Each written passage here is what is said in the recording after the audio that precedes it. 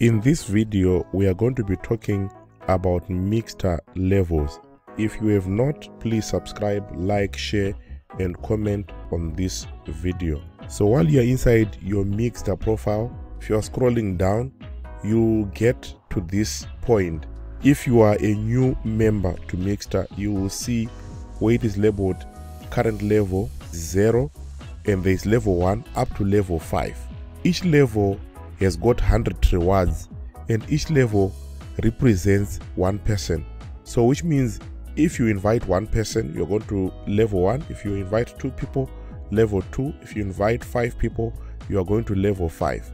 So before you complete level 5, you will not be able to see your position in as much as ranking on the leaderboard is concerned. But as soon as you complete level 5, you will be able to see your position on the leaderboard.